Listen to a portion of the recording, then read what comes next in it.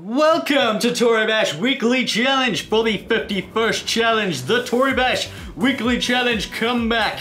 We'll be starting off with this opener sponsored by SS Light who always wanted to become a star, but now is his time to shine. So he has made this opener for us, and we'll be using it at frame 420. That's 420. You'll be editing the frame at 420 and you'll be downloading this replay from the link in the description and get the replay from the thread. Do the challenge, then submit the replay back onto the thread for your chance to be in the video. So only the best replays get in the video along with each week's winner who will receive 1000 TC each week for winning.